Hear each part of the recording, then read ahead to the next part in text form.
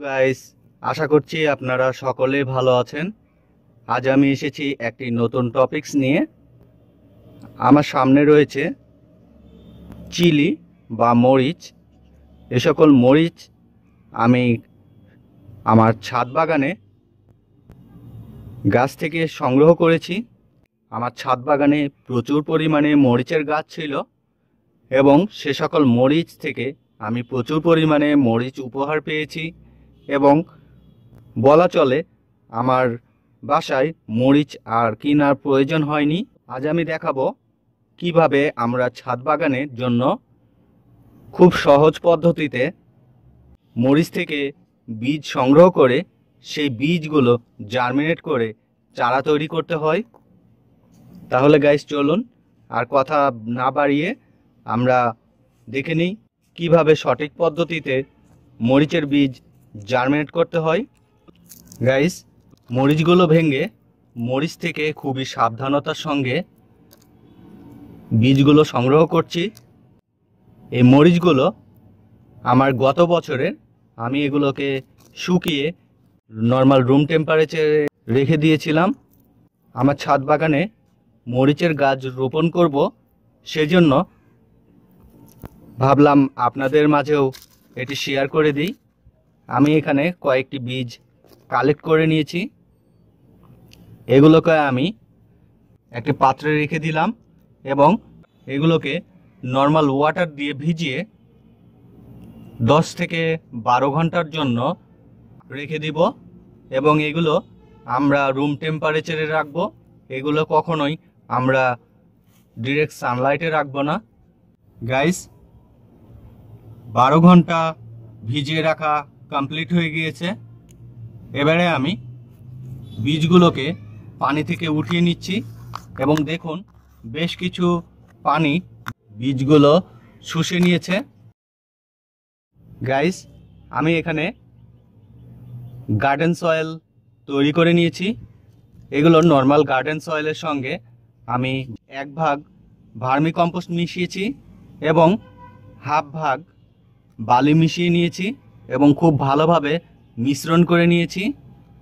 Garden সয়েলগুলো আমরা অবশ্যই খুব ভালোভাবে শুকিয়ে ড্রাই করে ডাস্ট করে চেলে নিব, যাতে করে কোনো প্রকার গ্র্যানুলস না থাকে। গাইস বীজগুলো আমি এই গার্ডেন সয়েলে রোপণ করে দিব। তাই আমি মাটিগুলোকে সামান্য পরিমাণে সরিয়ে দিচ্ছি এবং বীজগুলো অ্যালাইনমেন্ট করে সাজিয়ে দিচ্ছি। যাতে করে এক স্থান থেকেই চারা গাছগুলো না বের হয়। এবারে গাইস আমি এই বীজগুলোর উপরে গার্ডেন সয়েল দিয়ে দিচ্ছি। অতিরিক্ত পরিমাণে মাটির গভীরতায় দেওয়া যাবে না। এতে করে বীজগুলো নষ্ট হয়ে যেতে পারে এবং চারা গজাতে প্রচুর সময় লাগতে পারে। আমরা গাইস ম্যাক্সিমাম এক ইঞ্চি পরিমাণে গভীরতায় দিতে পারি। এবারে গাইস সামান্য পরিমাণে পানি স্প্রে করে দিচ্ছি, যাতে করে মাটিগুলো ময়েশ্চার থাকে এবং সেই সাথে বীজগুলো ড্রাই হয়ে নষ্ট না হয়ে যায়। এবং গাইস আমি প্রতিদিন মাটির ময়েশ্চার চেক করে একবার করে কিছুটা পরিমাণে পানি স্প্রে করে দিব। যেহেতু আমি নতুন মাটিতে বীজগুলো রোপণ করছি, তাই আমি একটু বেশি পরিমাণে পানি স্প্রে করে দিলাম, যাতে করে সকল গার্ডেন সয়েলগুলো ময়েশ্চার থাকে এবং বীজগুলো মাটির সঙ্গে ঠিকঠাকভাবে অ্যাডজাস্ট হয়ে যায়। গাইস, ফিরে আসলাম। দীর্ঘ সাত দিন প্রতীক্ষার পর আমি এগুলোকে আমার শেডের নিচে রেখে দিয়েছিলাম, যেখানে ডিরেক্ট সানলাইট লাগে না। কিন্তু ইনডিরেক্ট সানলাইট লাগে এবং পর্যাপ্ত পরিমাণে বাতাস পাস হয়, তেমন স্থানে রেখেছিলাম। দেখুন গাইস এখান থেকে তিনটি চারা বের হয়েছে এবং গাছগুলো খুবই সবুজ এবং সতেজ রয়েছে। এখনও কয়েকটি বীজ জার্মিনেট হয়নি। এগুলো হয়তো কোনো কোনো বীজ মাটির একটু বেশি গভীরতায় চলে যাওয়ার কারণে এমনটি হতে পারে।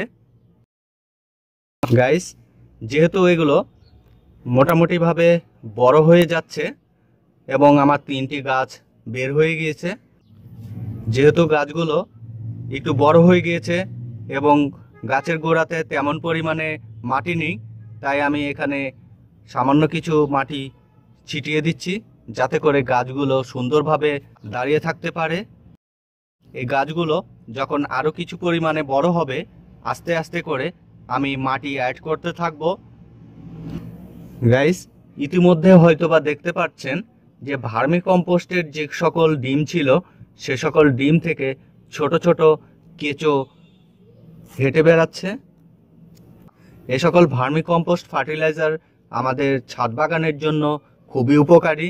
আমাদের গাছ থাকবে সবুজ, সতেজ এবং খুব দ্রুত বৃদ্ধি পাবে। গাইস, এবারে আমি সামান্য পরিমাণে পানি স্প্রে করে দিব। মরিচ গাছে অতিরিক্ত পানি প্রয়োগ করা যাবে না। এতে করে গাছের রুটস ড্যামেজ হয়ে গাছ মারা যেতে পারে।